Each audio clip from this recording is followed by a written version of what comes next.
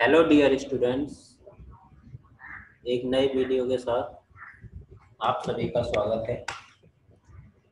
हम advance welding की video series में नेक्स्ट वीडियो रिकॉर्ड कर रहे हैं। आज के इस वीडियो में जो हम टॉपिक कवर करेंगे, उसमें फ़र्स्ट टॉपिक होगा maintaining the arc in AC AC current में जो आर्क प्रोड्यूस हो रहा है, उसे किस तरह से हम मेंटेन करते हैं? Ionization potential energy low power factor electrode polarity इन टॉपिक्स को आज के इस लेक्चर में हम कवर करेंगे। सबसे पहले स्टार्ट करते हैं maintaining the arc in AC AC current में आर्क मेंटेन करने के दो मेथड हैं हमारे पास। पहला मेथड है use of low ionization potential elements in coating flux. Second one is use of low power factor, power source. इन दो मेथड की हेल्प से हम एसी के अंदर आर्क मेंटेन कर सकते हैं। तो इसमें सबसे पहले हम पढ़ते हैं आयोनाइजेशन पोटेंशियल एनर्जी होती क्या है। जो हम फ़र्स्ट मेथड बात कर रहे थे, वो है क्या? जब इलेक्ट्रोड और वर्कपीस कांटेक्ट में आते हैं और उनके बीच में एक स्मॉल गैप होता है तो उस स्मॉल गैप की वजह से वहाँ पर करंट फ्लो होता है। और वहाँ से जो इलेक्ट्रॉन्स एमिट होते हैं उन्हीं इलेक्ट्रॉन्स जो एमिट हो रहे हैं, उन्हें ही बोला जाता है आयोनाइजेशन एनर्जी या ionization potential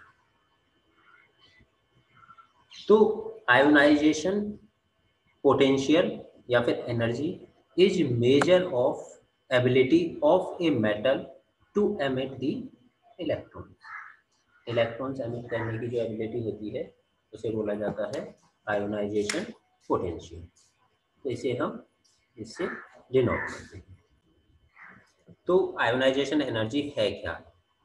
What is the meaning of ionization energy the minimum amount of energy required to remove the most loosely bound electron from atom और मॉलिक्यूल मॉलिक्यूल से जो सबसे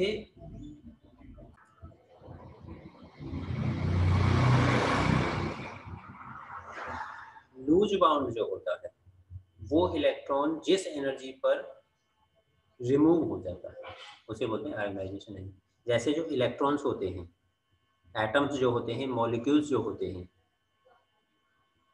वो आपस में बॉन्ड के थ्रू अट्रैक्ट रहते हैं, जुड़े रहते हैं एक दूसरे से।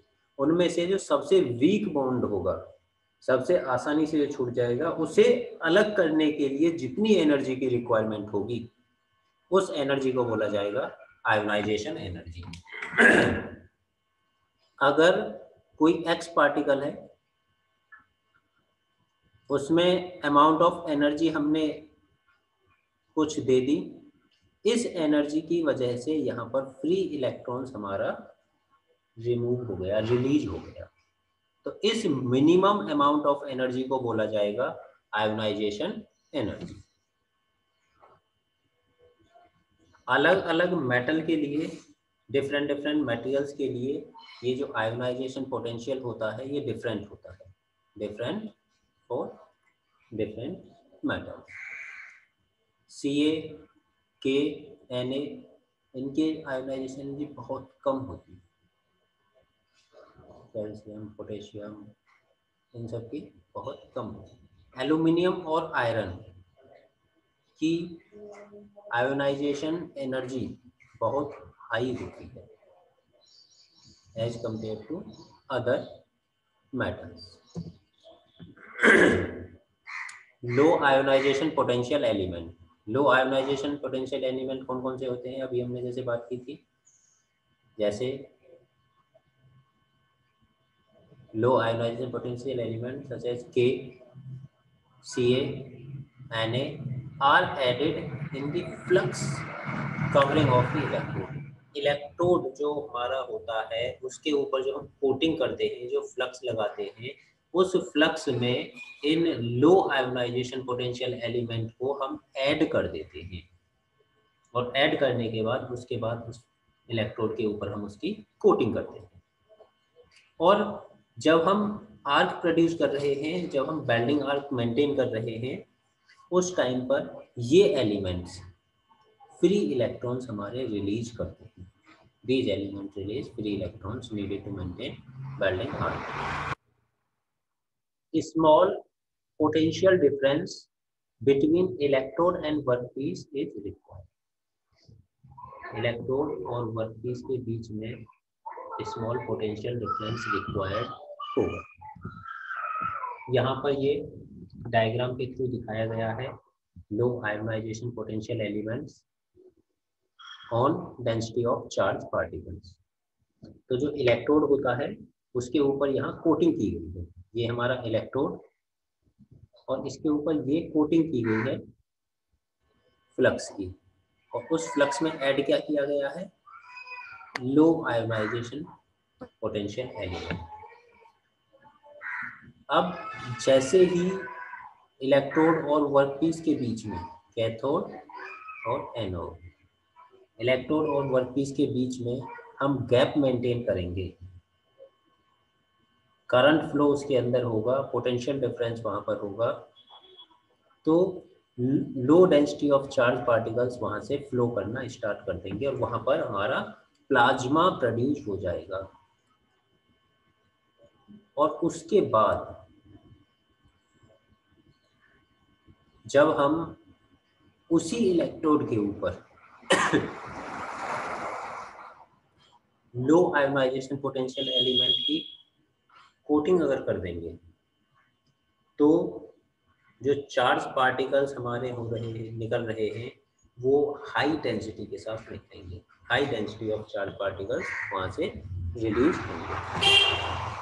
दूसरा हमारा था low power factor second method था उसमें लो पावर पावर फैक्टर क्या है? एक रेशो है। Power factor is defined as a ratio of actual power drawn from the power source power source से जितनी पावर आ रही है to perform the welding and apparent power drawn into the welding current line जितनी power वहाँ से आ रही है और बेल्डिंग लाइन में जितनी हम दे रहे हैं, उनके रेशियो को बोला जाता है पावर फैक्टर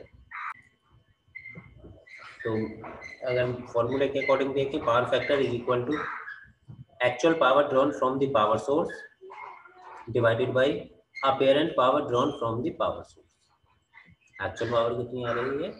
और अपेरेंट पावर कितनी आ रही है? इनके रेशो हो गया हमारा power factor low power factor की बात कर रहे हैं तो low power factor is intentionally use to improve the arc stability and maintenance of welding arc welding arc maintenance के लिए हम इसे यूज करेंगे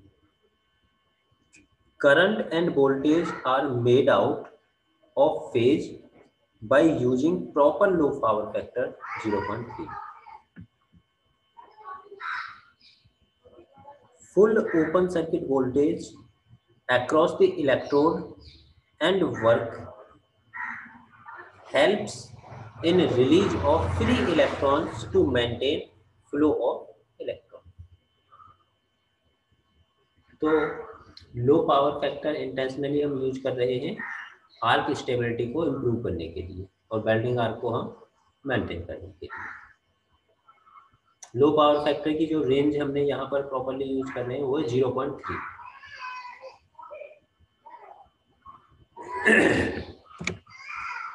अब एसी की अगर बात करें लो पावर फैक्टर में alternative current AC polarity is switched at a frequency polarity हम स्विच कर सकते हैं स्टेट पोलैरिटी और reverse polarity arc exciting 100 times per second with 50 hertz frequency power supply 50 hertz frequency के पावर सप्लाई के साथ. AC power source is used where surface cleaning is required, such as bending of AI and MG AC power source वहाँ हम use कर रहे हैं। जहाँ पर सरफेस क्लीनिंग भी रिक्वायर्ड होती है, जैसे aluminium manganese electron emissivity of oxide layer is superior than freshly cleaned matter. Electrode polarity दो टाइप की है। Direct current straight polarity DCEN जिसमें इलेक्ट्रोड को एज ए कैथोड यूज़ करते हैं और उसे हम नेगेटिव बनाते हैं। स्टेट पोलैरिटी डीपर पेनिट्रेशन के लिए हम यूज़ करते हैं।